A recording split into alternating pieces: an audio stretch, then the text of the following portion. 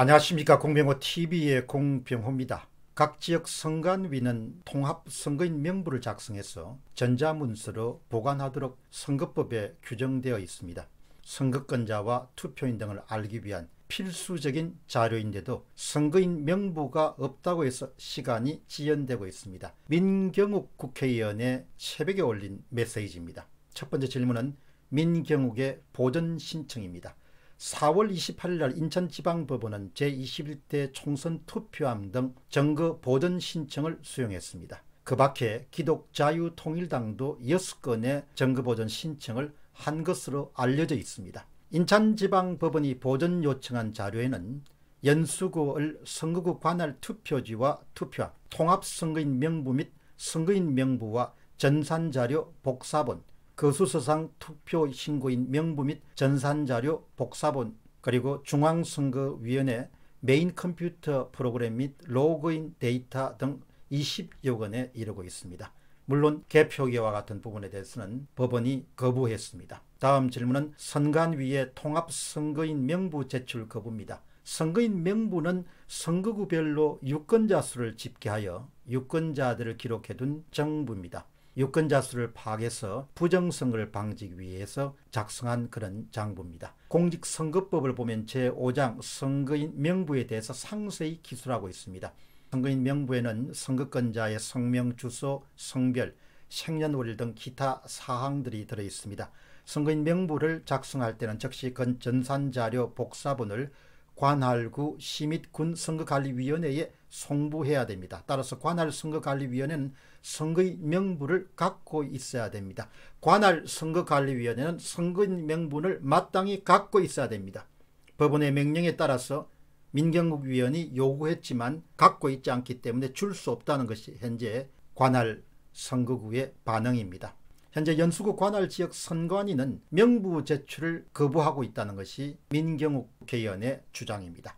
선거인 명부와 투표수를 대조하는 것은 개표 조작 사건을 해결하는 데 아주 중요합니다. 그런데 지금 선관위가 법원의 명령을 정면으로 거부하고 개표 조작 사건을 밝혀줄 핵심적 단서 제출을 거부하고 있는 그런 상황이 전개되고 있습니다. 선관위에 대한 민경욱 위원의 주장에 대해서 민경욱 한 분이 댓글을 남겼습니다. 저는 그동안 선거인 명부를 확인해야 된다고 수차례 말씀드렸습니다. 그걸 확인하지 않으면 투표하지 않은 유권자들의 가짜 서명으로 투표인 수도 맞춰 놓았을 것입니다. 지금 제출하지 못하는 것은 이를 다 맞추지 못했거나 덜통이 날 것 같아서 숨기는 것으로 밖에 볼 수 없습니다. 무조건 뒤져서라도 찾아야 됩니다. 만일 없다면 외부 유출로 개인정보보호법 위반과 선거법 위반 사항에 해당됩니다. 다음 질문은 개표 조작 방법입니다. 지금까지 알려지는 가장 유력한 방법은 표 훔치기, 이른바 표갈이 방법입니다. 이 방법은 여러 번 여러분들에게 소개해드렸다시피 사이버 세계에서 디지털 데이터 조작을 통해 가지고 사전 투표에서 4장마다 한 장을 상대방의 표를 훔쳐오는 방식입니다. 철두철미하게 디지털 조작 방식입니다. 따라서 개표 과정에 참여했던 일이나 또 선관위 관계자들의 노고를 절대 무시하지 않는 겁니다. 이것은 오프라인에서 이루어진 것이고 물리적 세계에서 이루어진 것이고 그 일이 끝났을 때 바로 그 데이터가 전송되는 과정에서 온라인 세계, 사이버 세계에서 거대한 디지털 데이터 조작 사건이 일어났을 가능성이 아주 높습니다. 그런데 이처럼 표 훔치기, 표 갈기 방법 그런 유력한 가설과 마찬가지로 또 하나의 유력한 그런 조작 방법은 바로 표 얹기 방법입니다. 이것도 가설입니다. 이런 지금 말씀드렸던 표 훔치기 방법이나 표 얹기 방법은 다 모두 다 일종의 유력한 가설입니다. 미래 통합당 표에서 표를 훔쳐오는 것이 아니라 아예 더불당, 민주당 후보에게 표를 얹어주는 방식입니다.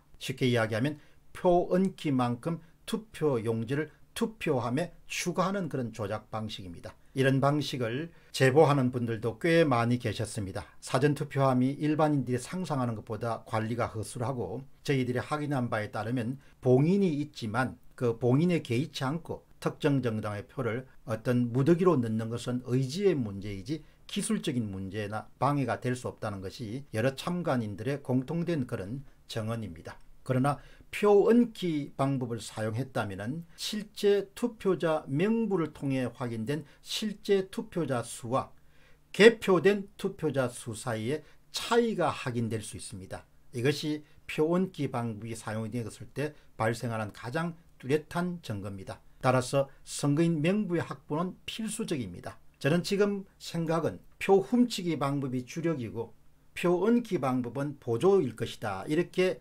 추측하고 있습니다. 따라서 선거인 명부의 확보는 필수적입니다. 표 얹기 방법을 사용했다면 바로 선거인 명부상의 투표자 수와 개표된 투표자 수는 반드시 차이가 날 것입니다. 만일 제출할 수 없다면 이것은 개표 과정에 또 다른 차원의 부정선거가 행해졌음을 의심하지 수 없습니다. 여기서 부정선거라는 것은 1차 조작이 표 훔치기라고 볼 수 있고 2차 조작은 표 얹기이기 때문에 표 얹기의 증거라는 것은 선거인 명부에 기록된 투표자 수와 실제 표를 형성한 표 안에 있는 그 사이에 차이가 숫자의 차이가 발생하는 것이죠. 물론 제 3차 조작인 선거인 명부까지 손을 댔을 가능성은 저는 일각에서 거론합니다만은 그 가능성 그렇게 높지 않다고 봅니다. 그러나 어떻게 알겠습니까? 지금까지 전개되고 있는 상황을 보면은 보통 사람들이 상식으로 이해할 수 없기 때문에 저 사람들은 그동안 해온 일을 보면 더한 일도 할 수 있다 그런 생각을 하게 됩니다. 선거인 명부를 통해서 철두철미하게 실제 투표자 수와 선거인 명부상의 투표자 수를 비교하는, 점검하는, 검증하는 과정이 반드시 필요합니다. 이런 점에서 민경욱 위원이 속하고 있는 인천 연수을 관할 선거관리위원회는 조속한 시간 내에 통합 선거인 명부를 민경욱 의원 측에 제시할 수 있어야 될 것입니다. 만일 그 자료, 핵심적인 자료를 폐기했거나 그것을 내놓을 수 없으면 그것은 이미 부정선거가 실시되었을 가능성을 다시 한 번 더 확정해주는 그런 증거라고 볼 수 있겠습니다. 공병호 TV의 공병호였습니다. 감사합니다.